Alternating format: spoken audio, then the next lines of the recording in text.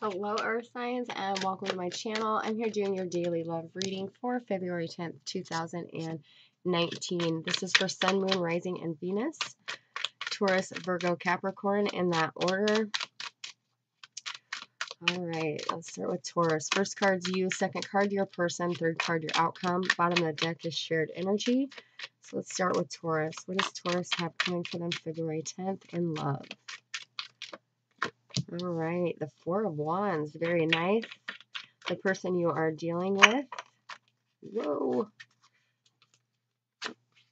The Star. Your outcome, the Moon. Bottom of the deck is the Eight of Swords, clarified by the Ace of Wands. And you are being held back from moving forward you're feeling trapped by this situation, you're feeling trapped in something um, when all you have to do is get out of that thought pattern of being stuck, and a new passionate beginning is here for you.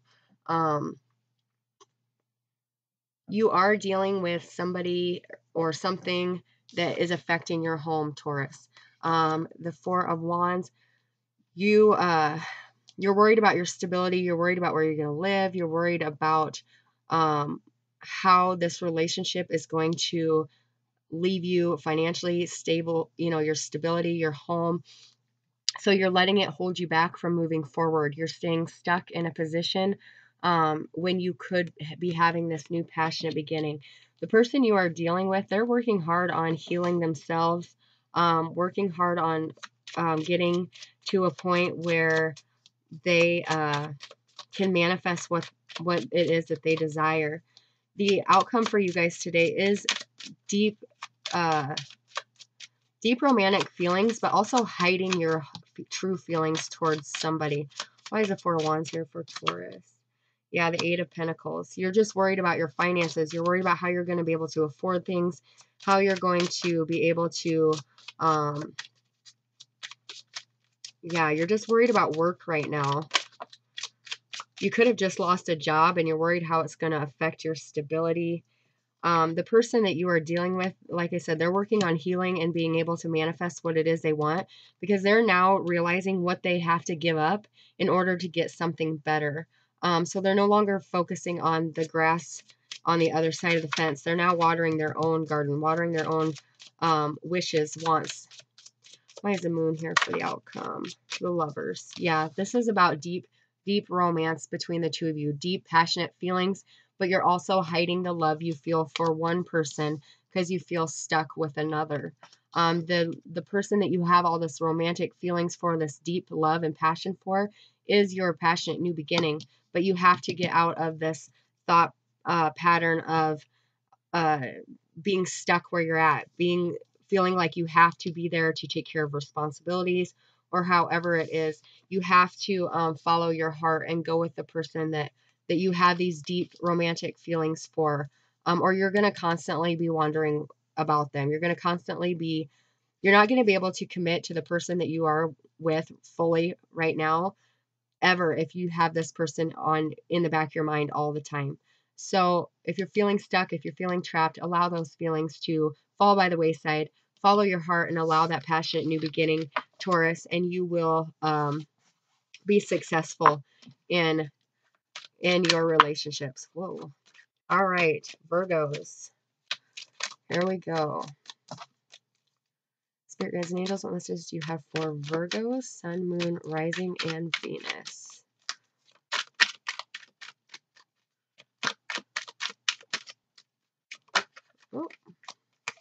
All right, you have the Five of Cups. The person you are dealing with is the Prince of Swords. And your outcome for the day is the Five of Pentacles in reverse. Your bottom of the deck and shared energy is the Three of Pentacles, clarified by the Ace of Pentacles. All right, Virgos, you guys, um, you could have be working very hard at work, something that you're trying to create, but this is also um, having a third party situation going on and needing to make a choice of who to choose to get this new beginning with, this new um, abundant life to start over fresh with.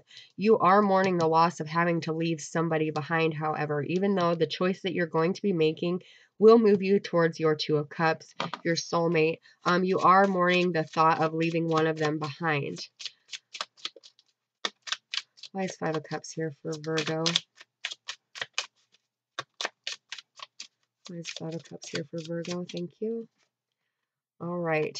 Yeah, the Seven of Pentacles in reverse. So you're you're not you're not going within and looking to see what it is that's going to make you grow more as a person who is going to allow you to be your real self your true self um, you need to go within and figure out what which direction what path is going to um, lead you to the real you and that's the person that you're meant to be with um, it's going to be hard leaving one or the other behind but it's going to allow you to truly follow your heart um, once you decide to walk up to the tower and release this one of these people.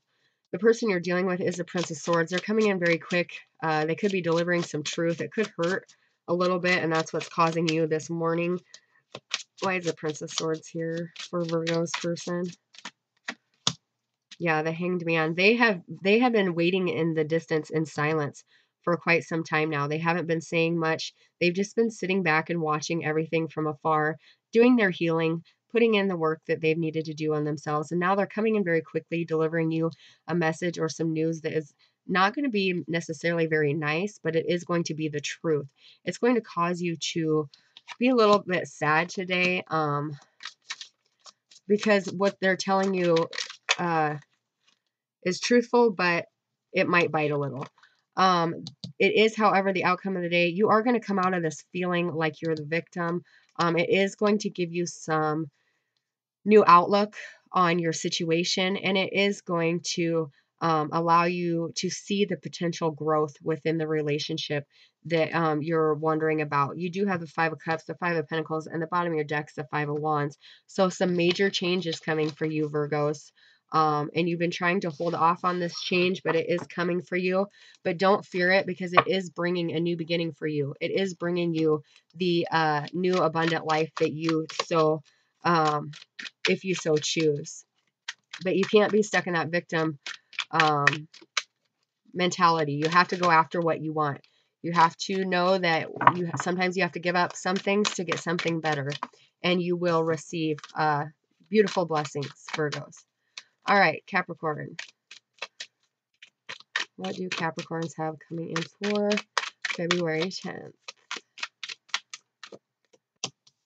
The Princess of Wands, the Two of Pentacles, and the Three of Swords. Bottom of the deck is the Ten of Wands, clarified by the Emperor. All right, so you guys are coming to the end of a cycle that caused you a lot of strife, a lot of heaviness, a lot of burden, a lot of thoughts ruminating in your head, a lot of worries, um, just a caused you to really um, keep you from moving forward, caused you to uh, stop in any action or progress moving forward. But when you release this, it is going to allow you then to focus on yourself, to focus on a business, possibly, but just really finding your sense of stability and your place in this world. Um, this Ten of Wands is not where you're meant to be, and you have to let that go then to um, to concentrate on your true purpose, the reason for being here at Capricorn. You could be receiving a message from a fire sign um, that's, that's uh, going to kind of add fuel to the fire. Let's see what the Princess of Wands is here for Capricorn.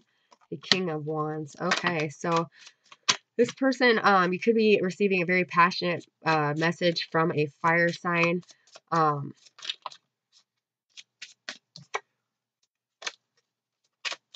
yeah, it's going to come in very quickly, very out of the blue. This person could be juggling um, energies, however. Um, they are making a change in their life.